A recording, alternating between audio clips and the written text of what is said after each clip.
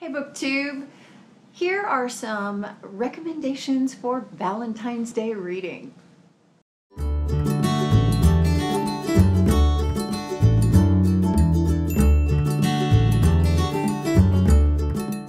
Jen and I talk about audiobooks and I am a huge romance lover.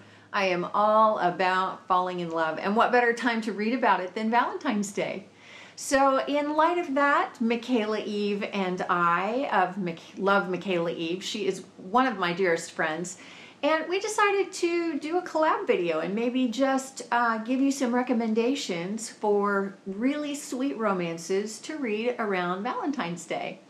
I'm going to talk about new adult releases. Um, she's going to talk about young adult releases. And these aren't new releases. These are just authors I've read, books I've read that I can recommend to you and tell you that I like them and here's why. I will say that there is a somewhat of a distinction. Uh, there is an actual distinction between young adult and new adult, but sometimes it can be confusing. And, and sometimes the line gets kind of blurry. New adult is really more people in their 20s. They're often in college, so a lot of college romances will be new adult. They tend to be a little more mature because people at that age tend to behave a little more maturely than people in their late teens, which is what young adult romance would be about. Um, so, you know, there's a little of that. There's a lot of people figuring out their life, getting to the end of college and what am I going to do and that kind of thing. So, a lot of those kinds of issues are discussed and addressed and all that kind of thing. But I've got some great recommendations for you, so let me just tell you about some of them. I'm going to start with Unteachable by Leah Raeder. This is the old trope of the teacher who falls in love with the student or the student who falls in love with the teacher, but it's done in a kind of a refreshing way. I don't know how many ways you can tell that story really, but I really liked this one because I thought it was so beautifully written it uh, really reveals a lot about um, the culture of teenagers today, seniors in high school, people, you know, kids who've come from a bad home life or have a lot of challenges to meet before they can really embrace their dreams. And so this is really good. It's a couple of damaged people fighting their way through and finding each other in the process, and I loved it. I gave it five stars when I read it a couple of years ago and just reread it again this past year. Uh, I listened to it on audio and I gave it five stars again because I just think, you know, for everything it is not, it is beautifully written. It's just, the commentary is fantastic. Colleen Hoover is one of my favorite new adult authors, and I haven't loved everything she's written, but I've loved a lot of it, probably most of it. One of my favorites is November 9, and on audio, this is narrated by Zachary Webber and Angela Goethals. And it is a story of a boy and a girl, and they meet right as their lives are starting to take off. And they decide it's too early to get into a relationship. So let's meet back here on the same day once a year for the next five years. And we'll just see what happens. We'll see how our lives change and whether or not we still want to be in a relationship together. So it's that story, and it's just so good. There are other things involved in it, and like I say, that plot twist that gets thrown in at the end, it just really rounds out the story. But I loved that one. I thought it was really well written and a great story, great characters, well developed. The pacing was great. It moved along. You never got bored. You were always anxious to find out what happened because in the book, Colleen Hoover doesn't spend a lot of time uh, talking about what's happened during the year. She focuses in on the days that they come together, and it's always on November 9th. So that was one of my favorites. Ugly Love is another favorite, and that's narrated by Grace Grant and Deacon Lee. And that's an interesting story about an airline pilot who he's got issues, and a girl that is the younger sister of a friend of his and they get involved and it's the story of their relationship. And that one frustrated me but i think that that's one of the good things about the book. You know that tension that she developed and brought it full circle it just really really gave the ending a big finish you know. Another favorite i have is maybe not and that's just a novella that goes along with maybe someday which is another book she's written Maybe Not is narrated by Jason Carpenter, and it focuses in on a side character from Maybe Someday. and he is hilarious. He is absolutely hilarious, and the whole little novella is just fall on the floor laughing funny. It's it's so good. So definitely, Colleen Hoover is someone to check out for new adult. Tammara Webber is another favorite author of mine. I really love the new adult series that she's written called Contours of the Heart, and that is Easy, which is narrated by Tara Sands, Breakable, which is narrated by Zachary Webber, and it is kind of a companion book to Easy. It's the same story but told from the guy's perspective rather than the girl's. And then Sweet is book three in that series, and that's narrated by Zach Webber and Christy Romano. And Zach Webber is her son, is Tammara Webber's son. So it's kind of kind of nice. I'm not sure how I would feel having my son narrate my new adult book with the mature content in it. I don't know.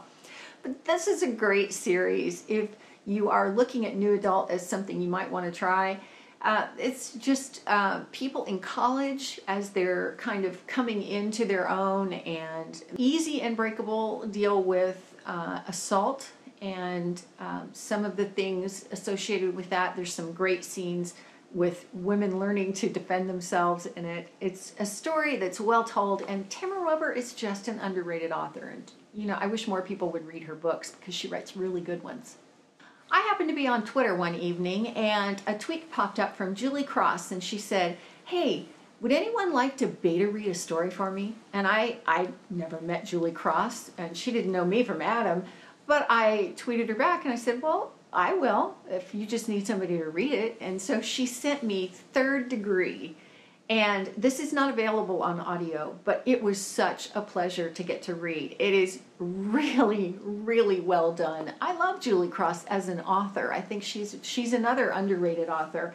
And this is a story of a girl who has uh, borderline Asperger's syndrome.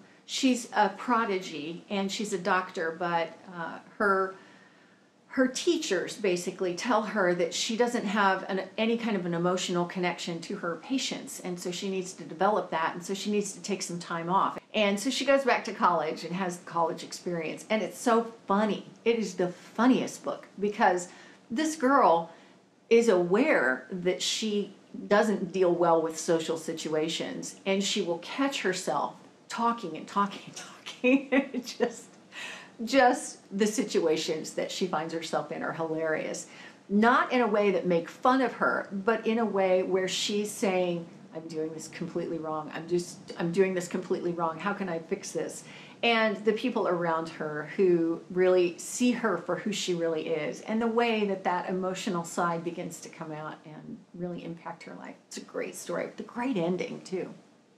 Trade Me by Courtney Milan is a story that is really good for a couple of reasons. First of all, it's got economic diversity in it. It's got two people from opposite ends of the economic spectrum. One girl is, she's not poverty stricken, but she has to work really hard to get through school. And another guy is like the son of like Steve Jobs. Like, you know, he's about to inherit a big corporation that does makes phones and electronics and that kind of thing. And they trade places. And the other thing about it is that she is Asian, and her parents uh, help immigrants come into this country and find sponsors and do a lot of that. And so, not only she, does she come from a family that really has to work for everything that they have, but they're immigrants.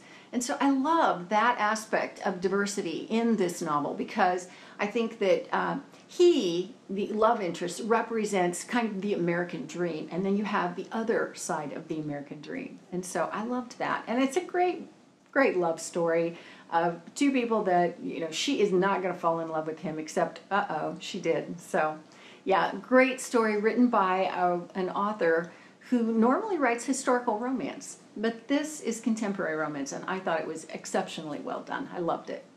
If you like sports romance, you might want to try Cora Carmack and her Rusk University series. Her the first book in that series is all lined up and I really enjoyed it. It's about football players in college and the girls that they get involved with. She writes a great romance. I loved the way this one developed and had had football.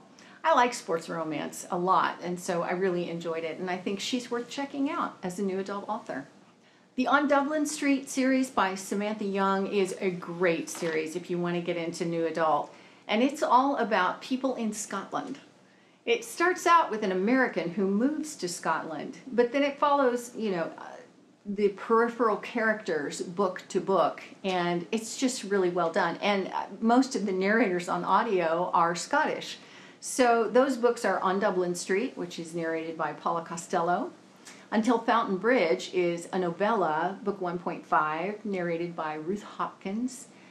Down London Road is book two, that's narrated by Elle Newlands, who does a lot of the books, as you'll see. Book 2.5 is Castle Hill, another novella narrated by Paula Costello again. I think she was my favorite narrator of all of them. Book three is uh, Before Jamaica Lane, and that's narrated by Lee Angel. Book four is Fall from India Place, and that's narrated by Chloe Lynn. I wasn't a fan of that narrator, and I never have read that book. I uh, the the main characters I wasn't a huge fan of, but that doesn't mean anything. It's just another book in the series, and the series is good. So, book five is Echoes of Scotland Street, again narrated by Elle Newlands. Book six is Moonlight on Nightingale Way. Elle Newlands narrates. And the last book is One King's Way, and that's narrated by Kieran Murray and Elle Niederhorst. Niederhorst? Niederhorst? Um, all really, really good novels with really great characters and a nice change of pace that it's set in Scotland and not here in the US. And the last one I want to tell you about is called Sincerely Carter. It's by Whitney G and it's narrated from two points of view by Joseph Disher and Jennifer O'Donnell.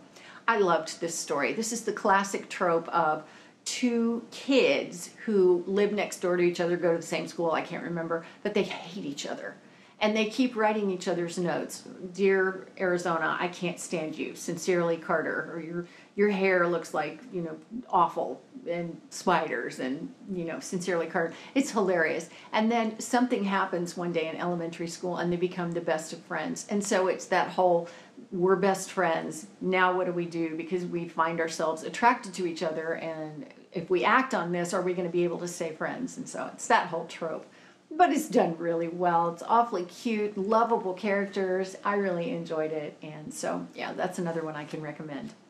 So those are just some suggestions for a taste of some new adult uh, titles that you might want to check out. I'll put some other authors that I really have enjoyed who write new adult down in the description box with some other things. Of course, all the links to the books because I always do that.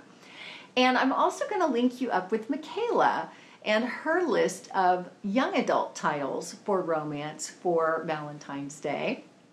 I hope you uh, I hope you enjoy the list. I hope you try some of these out. And if you've read any of them already, then let me know what you thought. And uh, yeah, let's jump in and tell everybody else about how great these Valentine's Day romances are. So please go check out Mikayla. That's it for now from me, and I will see you next time. Thanks for watching.